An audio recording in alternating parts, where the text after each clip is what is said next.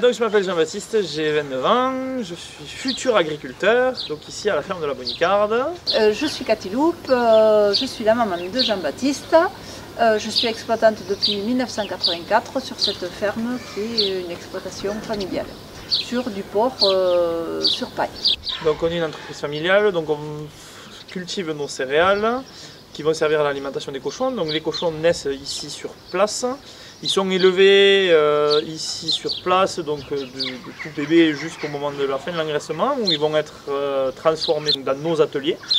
Euh, on fabrique l'intégralité de la gamme, donc euh, les produits frais, la conserverie, les produits secs, les produits cuits qui sont vendus donc ici sur la ferme, sur notre boutique historique, et depuis peu sur notre toute nouvelle boutique qu'on a ouverte à Revel en octobre dernier.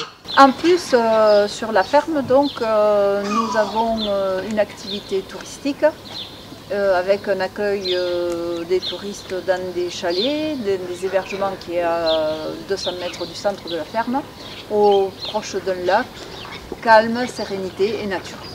L'objectif, nous, ici, de l'accueil à la ferme, c'est donc de pouvoir immerger le, public qu'on reçoit dans notre vie, dans notre passion qui est le métier d'agriculteur. C'est pour ça qu'aujourd'hui, on accueille les gens sur la ferme via les hébergements, mais aussi via tout simplement la boutique qu'on a ici sur place. Euh, donc aujourd'hui, euh, Euh, donc, nous vous invitons à la journée du 3 juin, dans le cadre de Bienvenue à la ferme, où c'est que nous allons fêter nos 30 ans de vente directe. Et le programme, euh, dans l'après-midi, nous allons euh, commencer à 14h30 des visites de l'exploitation, avec quelques dégustations bien sûr. Et ensuite, nous allons poursuivre avec des animations pour enfants. Et pour finir par un apéro qui vous est offert, en dégustant euh, plein de marinades euh, qui sont faites par nous-mêmes bien sûr.